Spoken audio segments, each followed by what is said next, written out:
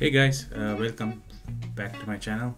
So today what i'm trying to do is uh, show you how to run deepseek on amazon bedrock which is amazon's uh, aws powerful ai service for deploying foundation models. So we'll set it up test it and see it in action. So before we start let's discuss why amazon bedrock right? So it's full managed service. You don't need to uh, manage an infrastructure or maintenance. Then data is secured and private. So if you're worried about your data being in china because you want to use this deepseek but in this case your data is does not leave the amazon environment. So it's secured seamless integration with let's say you want to build an app on top of uh, you using that AI model. So it, uh, you can build your app within the AWS environment and integration will be very easy. And you can start using multiple models. You know you just don't have to use DeepSeek there they have many many models uh, in the, and compliance and governance built-in support for aws IAM vpc cloudtrail which will make it easier to enforce access controls and monitor the usage. So those are the main points i would say and let's go see how we can set it up. All right so we're gonna click on amazon bedrock then we're gonna go to view model catalog. So you're gonna expand uh, this section. You're gonna click on deepseek filter by deepseek. And here you have few models so based on different different sizes. So if you so if you see this is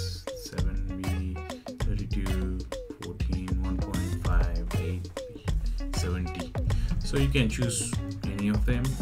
Uh, I'm just gonna choose the 1.5b just because it's low very lightweight and it'll help us uh, deploy faster. So click there.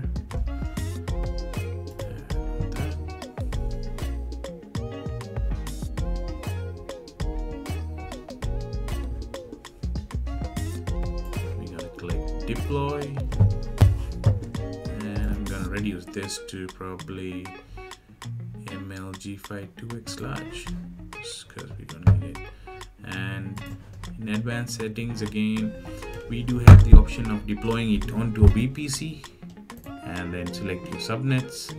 Recommend adding one subnet for each uh, availability zone in the region and then security groups. And also an option of selecting an existing service role or create and use new on the go. Um, seems like I ran last time so it's created one for me so I'm going to just start using that and click deploy over here.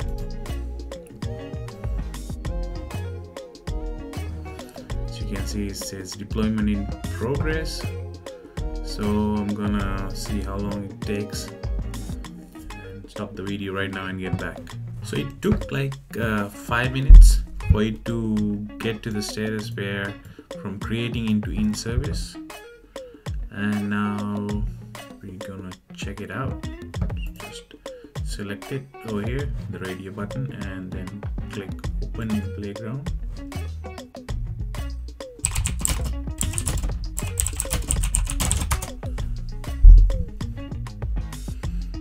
what is your name? It's replied with deepseek r1 and